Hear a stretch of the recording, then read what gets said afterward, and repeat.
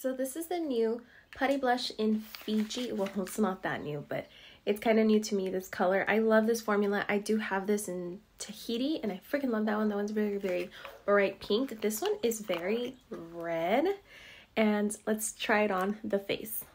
So you can try it with your finger and look at that pigment, or you can try it with a sponge.